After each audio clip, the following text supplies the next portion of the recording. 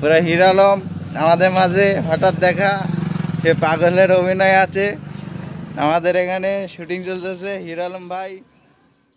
আজকে খুইলা ফালামু, আজকে হিরো আলমের মুখোশটা খুইলা ফালামু। প্রিয় দর্শক শ্রোতা, পাগলের মতন হিরো আলম রাস্তায় ঘুরতেছে। আপনারা হয়তোবা এই ভিডিওটা দেখছেন, তবে আজকে কিছু গোমর, হিরো আলমের কিছু গোমর আপনাদের সামনে আমি ফাঁস করতে চাইতেছি। হিরো আলম এই পর্যন্ত তিন তিনটা বিবাহ করছে। আপনারা জানেন হিরো আলম যখন এই চলচ্চিত্র অথবা তার এই শিল্পী জগতে আসে, তার আগে প্রথমে একটা বিয়ে করছে, সেখানে দুইটা বাচ্চাও আছে। সেই বউরে কিন্তু একবার মারধর করার কারণে হিরো আলমকে পুলিশ গ্রেপ্তারও করছে। তবে আপনারা হয়তো বা জানেন যে তিনি কিন্তু বিবাহ করছে। তবে এখন যেই জিনিসটা আমাদের সামনে চলে আসছে, সেটা হচ্ছে যে হিরো আলম তৃতীয় বিবাহ করছে। সুমায়া এই মেয়েটার নাম হিরো আলমের সাথে যারা দেখছেন সুমায়া নামের এই মেয়েটা, এই মেয়েটাকে তিনি বিবাহ করছে। আমরা এখনও পর্যন্ত যতটুকু তথ্য জানি, এটা হচ্ছে তার তিন নাম্বার বউ। প্রিয় দর্শক শ্রোতা, হিরো আলম তিনটা বা চারটা বা পাঁচটা বিবাহ করুক, তাতে আমার কোনো আপত্তি নাই। আমি এই ভিডিওটা দেখলাম, সেখানে অনেকে কমেন্ট করতেছে, হিরো আলম তিনটা বিয়া করার পরেই পাগল হয়ে গেছে গা।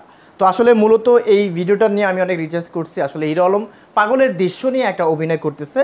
আর সেই দৃশ্য থেকে কেউ একজন পাশে থেকে ভিডিও করছে। আপনারা জানেন যে মানুষ যখন শুটিং করে, নায়ক, নায়িকারা শুটিং করে অথবা হিরো আলম যখন শুটিং করে, তখন আশেপাশে অনেক লোক কিন্তু থাকে।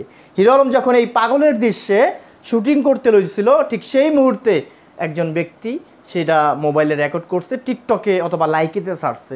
তো এই ভিডিওটা সামাজিক যোগাযোগ মাধ্যমে মোটামুটি ভাইরাল কিন্তু মূল কথা হচ্ছে যে হিরো আলম তিন নম্বর বিবাহ করল কবে? আমরা তো দুইটা বিবাহর কথা মোটামুটি শুনছি, কিন্তু এখন এই তিন নাম্বার বিবাহর মিষ্টি তো আমাকে খাওয়াইলো না। এই সুমাইয়া নামের মেয়েটাকে তিনি বিবাহ করছে এবং তিনি একাধিক ফেসবুকে এই সুমাইয়াকে নিয়ে তিনি পোস্ট করছে তার লাভ, তার লাইভ এরকম অনেক তথ্য দিয়ে আসলে আমাদেরকে জানাইছে। তো আমরা কিন্তু বুঝতে পারিনি, আসলে হিরো আলম তো অভিনয় টভিনয় করে, অনেক মডেলিং মেয়েরা আছে তার সাথে ছবি টবি তুলে, কিন্তু এখন আমরা যেটা জানতে পারলাম, প্রথম ঘরের স্ত্রীকে তিনি কোনো দায় দায়িত্ব রাখে না হ্যাঁ সন্তানদেরকে, আমি যতটুকু জানি সন্তানদেরকে টাকা পয়সা দেয় এবং শুনছি হিরো আলম তার বাড়িতে নিজে প্রায় ফাউন্ডেশন নিয়ে তিনতলা না চারতলা ফাউন্ডেশন নিয়ে সার ডালে দিয়ে বাড়িও কমপ্লিট করছে বা করতেছে। আমি এখনও পুরা জান, যতটুকু জানি যে পুরো কমপ্লিট করে নাই, কিন্তু পুরো বাড়িটা করতেছে। সেইখানে তার প্রথম ঘরের স্ত্রী থাকতে পারবে না। হ্যাঁ যদিও আমি বলতেছি যে তিনি কিন্তু তার সন্তানের খোঁজ খবর নেয়।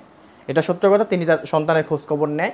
কিন্তু স্ত্রীর কোনো খোঁজ খবর নাকি নেয় না। আসলে এই বিষয়টা আমি একদমই ক্লিয়ার না।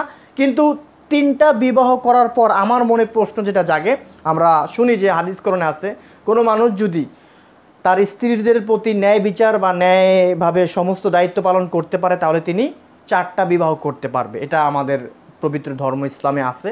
তো আমি সেই দিক দিয়ে বলি যে আসলে হিরো আলম তো টাকা পয়সা আছে মোটামুটি।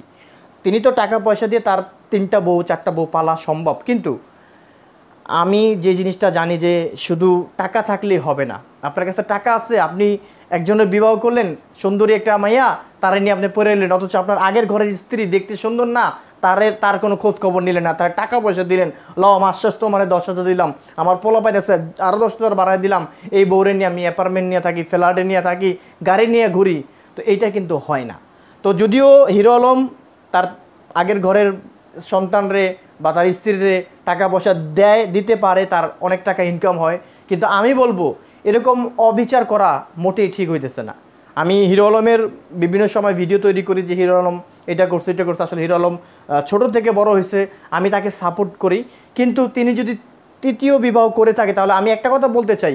প্রথম স্ত্রী কী নষ্ট করছিল? প্রথম স্ত্রী তোমার বিপদের দিনে ছিল। তুমি যেই সময় রাস্তায় টোকাইগিরি করতা, তুমি যেই সময় দিন আইনা দিন খাইতে পারতা না, সেই সময় তোমার বিপদের দিনে তোমার প্রথম স্ত্রী তোমার পাশে ছিল। আজকে তোমার সুখের দিনে। সুখের দিনে পাশে মানুষের অভাব থাকে না, কিন্তু দুঃখের দিনে যে থাকে সে হচ্ছে প্রকৃত ভালোবাসার মানুষ। তাই আমি হিরো আলম ভাইকে, আমি আমি ভাই হিসাবে তাকে সম্মান করতে চাই।